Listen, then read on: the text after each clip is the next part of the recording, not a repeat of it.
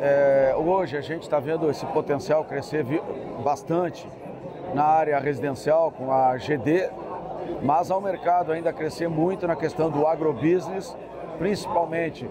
na região sul, ou seja, no estado do Rio Grande do Sul e no lado oeste de Santa Catarina e do Paraná, e também tem muito a crescer na área industrial. É, uma série de paradigmas tem que ser feito e a energia na área industrial e na própria área é, do agrobusiness,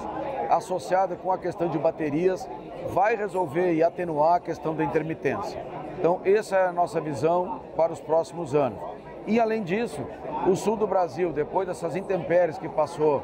é, na questão do Rio Grande do Sul, mostrou que tem um, um potencial muito grande para o sistema de transmissão não foi afetado, ou seja, há segurança energética para os investidores virem para cá.